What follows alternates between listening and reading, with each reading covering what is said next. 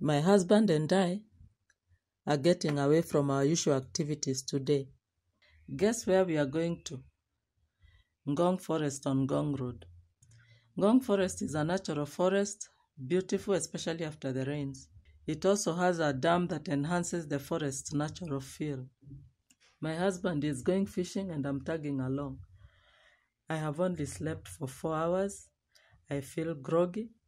I do not even recognize the taste of my sweet drink cocoa. My appetite is very low. Seems like my digestive system has decided not to wake up. An hour later, we pick up our fishing rods, and at 10 o'clock, we are at the gate with very polite guards. We walk down to the dam very excited that we have arrived early enough to catch fish. My husband, who I think is the fisherman of the day because he's the only one fishing, throws in the hook with plastic lure. A dog jumps into the water, thrashing around, bringing up dirt from below. The dog has no idea what we are doing. Our hope is lost and we are disappointed. I turn my head slowly to look at my husband and we are like, What just happened? My husband shrugs and continues to hold the rod. Then the owner of the dog appears and apologizes. Of course, we cannot be angry. It is a public place. The owner and the dog leave, and guess what else we think has disappeared? You are right, the fish. Soon the water is calm again. We hope the fish is back. Suddenly, again, a stick is thrown into the water and a dog dives in and fetches. We look at the owner and smile again because they are also smiling. Besides fishing, people also walk their dogs here. That dog that you see there thinks the fisherman is playing with him. He's waiting for him to throw the rod so he can fetch. We laugh and don't move. After a while, the owner shushes it away and they walk away. After a few unsuccessful attempts at fishing, we decide to walk to the other side of the river to another dam.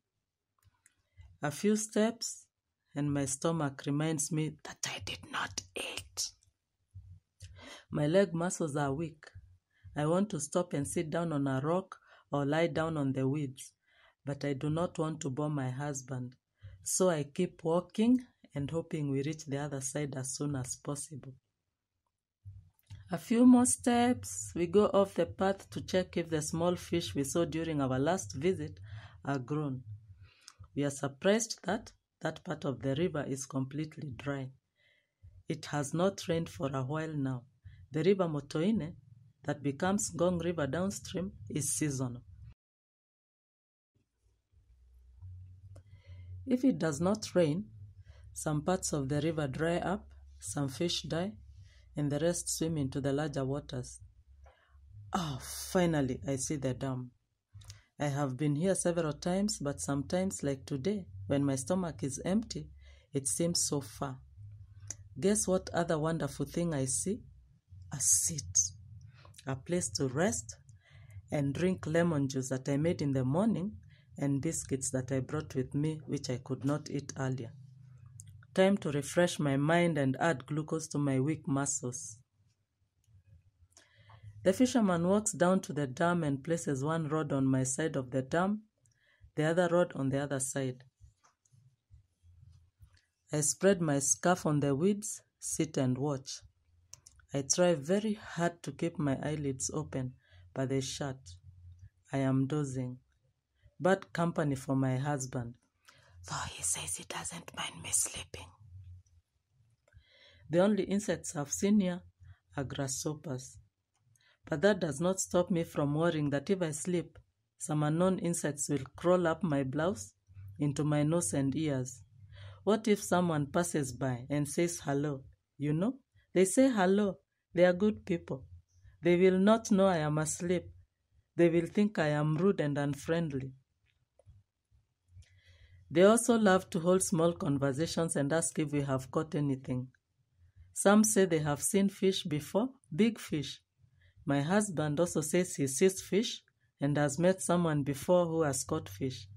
Apart from the small fish I saw during my last visit, I've never seen any other. Maybe they are too fast for my eyes. We continue to stare at the rods. No fish.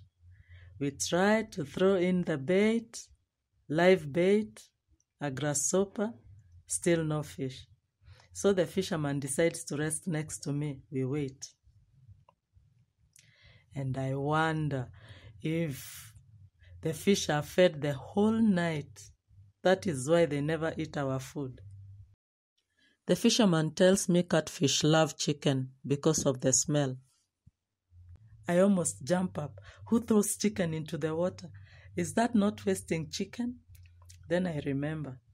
I love fish more than chicken. I feel it would be okay. One of the common fish here is tilapia. One may see tilapia shoaling late in the afternoon by the reeds. There is also the bass, which is not indigenous.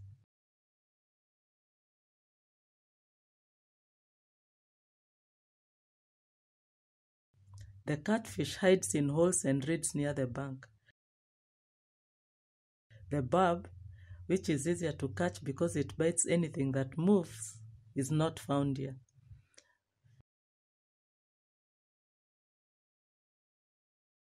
Believe me when I tell you that if it was found here, we would sure catch it. Spotting other animals in Ngong Forest is rare. My husband says he spotted a deer once. We think animals hide because of our movement and talk. Animals can sometimes be afraid of humans. There are birds, though, many birds, and those are easy to spot. My eyelids are heavy when we decide to walk back, but I feel more refreshed. The sleep is gone a little, though my legs are still tired. I suddenly realized I never wore my glasses in the forest when I looked at my phone. My eyesight was better, and I begin to think forests heal. That is why I visit every chance I get.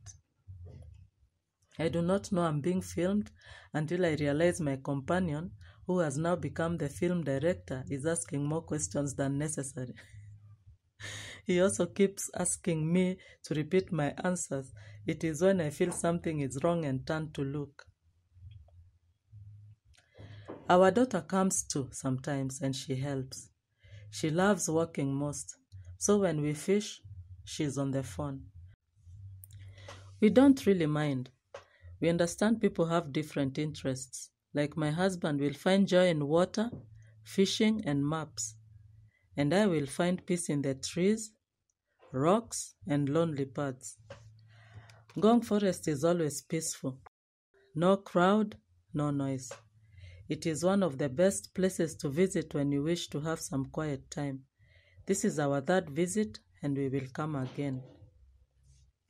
I had said I will not chew while being filmed, but I forgot.